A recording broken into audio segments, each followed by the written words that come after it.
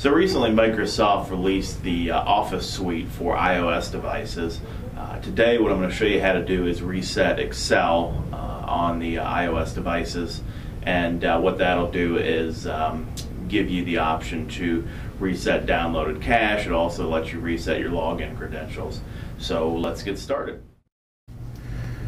Okay, so here's what you're going to do. You're going to go to Settings, and then there's Settings. You're going to scroll down and find where it says Excel, and click on Excel. And then what we're looking for is Reset Excel. And then what you can do is you can check these boxes for delete or uh, clear document cache and delete login credentials.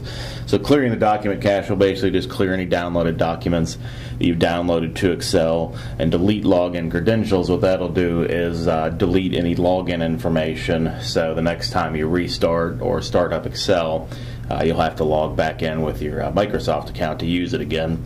So it wouldn't be a bad idea to use it on like a public, you know, use uh, iOS device uh, where you need to log in with your account, but you know now you're done with it and you want to log back out.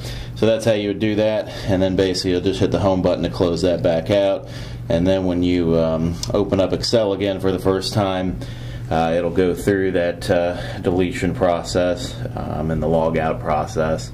Um, yeah, you can see it just popped up there.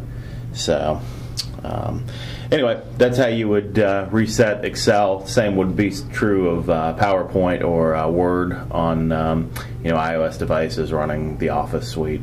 So if you have any other questions, you can visit us at microcentertech.com. We also have a no white chat available at chat.microcentertech.com.